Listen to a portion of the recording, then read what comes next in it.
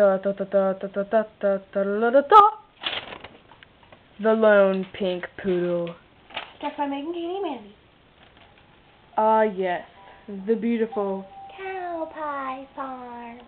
On this farm, there are small cows, medium cows, and fat cows. Oh, and not to mention the purple cows. They're a little personal. But this this farm is just so... Wait. What's this? Is this a pink poodle on this farm? Oh, so despicable! I'll have to get rid of it immediately.